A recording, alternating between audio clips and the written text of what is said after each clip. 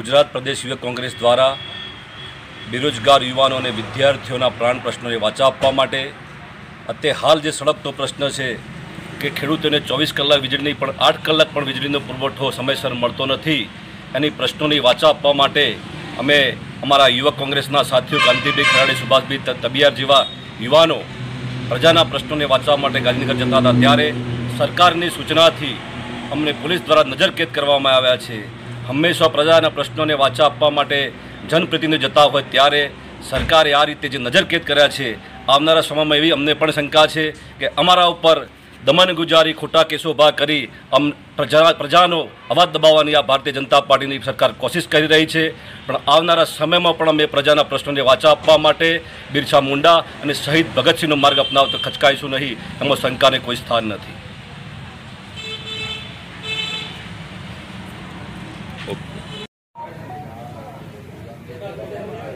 આજ રોજ ગુજરાત પ્રદેશ યુવક કોંગ્રેસ દ્વારા બેરોજગાર યુવાનો અને વિદ્યાર્થીઓના અને ખેડૂતોના પ્રાણ પ્રશ્નને વાચા આપવા માટે આજે ગાંધીનગર ખાતે યુવક કોંગ્રેસ દ્વારા કાર્યક્રમ રાખવામાં આવ્યો હતો.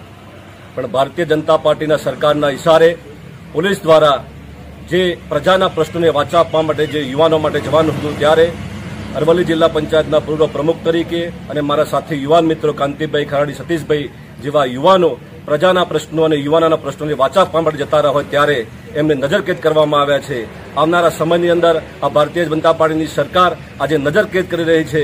આવનારા સમયમાં ખોટા કેસો કરી અને અમને દબાવવામાં આવે છે. જો આ જ રીતે પ્રજાના પ્રશ્નોને વાચા આપવા માટે જો અમને દબાવવામાં આવશે, તો આવનારા સમયમાં અમે બિરસા મુંડા અને શહીદ ભગતસિંહનો માર્ગ અપનાવતો પણ ખચકાઈશું નહીં. જેની શંકાને કોઈ સ્થાન નથી. તારીખ પચીસ માર્ચના રોજ ગાંધીનગર સત્યાગ્રહ વણ છાવણી ખાતે આદિવાસી સમાજના હક અને અધિકારને પ્રાણ પ્રશ્નોને વાંચવા આપવા માટે સમગ્ર ગુજરાતની અંદરથી આદિવાસી સમાજ દ્વારા એક રેલીનું આયોજન કરવામાં આવ્યું છે. આદિવાસી સમાજના વિવિધ પ્રશ્નો જેવા કે તાપી, પાર, નર્મદા લિંક પ્રોજેક્ટ યોજના હોય કેવડી કોલોનીનો મુદ્દો હોય, આદિવાસી વિસ્તારમાંથી પસાર થતા કોરિડોરની વાત હોય, જંગલ જમીનની વાત હોય આદિવાસી વિસ્તારની અંદર જીઆઈડીસી નાના ઉદ્યોગો સ્થાપવાની વાત હોય કે ખોટા આદિવાસી પ્રમાણપત્રો રદ કરવા બાબતની બાબત હોય, આવા આદિવાસી સમાજના ઘણા બધા પ્રશ્નો વણ ઉકેલ્યા આ ભારતીય જનતા પાર્ટી સરકારે ઉકેલ્યા નથી. માટે સમગ્ર ગુજરાતના આદિવાસીઓ આ વખતે ગાંધીનગર સત્યાગ્રહ છાડી ભેગા થઈ અને સરકારને અલ્ટિમેટમ આપવાના છે કે જો આદિવાસી સમાજના હક અને અધિકારના પ્રશ્નોને વાંચવામાં નહીં આપવામાં આવે, તો આવનારા સમયમાં સમગ્ર ગુજરાતની અંદર તાલુકા જિલ્લા મથકે અંતરેલ ગામડામાં જઈ અને ભારતીય જનતા પાર્ટીને જકા આપવાની વાત કરશે.